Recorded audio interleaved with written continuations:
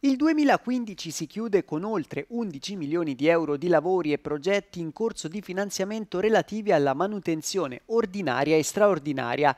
Parliamo della cifra complessiva per le attività eseguite dal Consorzio di Bonifica 2 Alto Valdarno per la tutela del territorio e la sua salvaguardia dal rischio idrogeologico. Con 3,27 milioni di euro sono Arezzo e la sua provincia ad avere il numero maggiore in termini di consistenza economica per quanto riguarda gli interventi.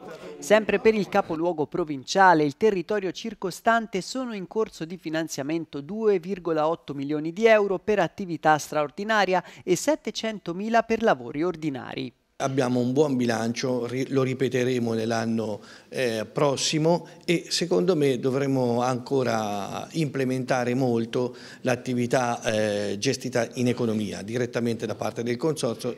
Ciò significa acquisire un numero eh, maggiore di operai. Tra gli interventi più significativi dell'anno che volge al termine, l'inaugurazione delle quattro casse di espansione del torrente Castro nel tratto che va da Molinelli a Staggiano.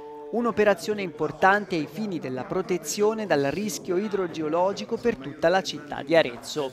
Grande soddisfazione è stata espressa anche per il lavoro svolto nei territori. Siamo contenti di aver distribuito anche il nostro intervento sui territori. Vorremmo privilegiare molto più la montagna anche perché i distretti idrogeologici avvengono essenzialmente in montagna. Tra le novità per il 2016 c'è anche il piano di classifica sul quale, in base alle singole esigenze, verranno incentrati e proposti gli interventi di manutenzione ordinaria su tutto il comprensorio e di conseguenza anche il relativo contributo consortile. Era uno strumento molto diversificato fra i consorsi, invece ora sarà uno strumento praticamente unico, tutti ci muoveremo in quella direzione, per cui ci sarà anche un riequilibrio dei quantum eh, debbono corrispondere ai consorziati.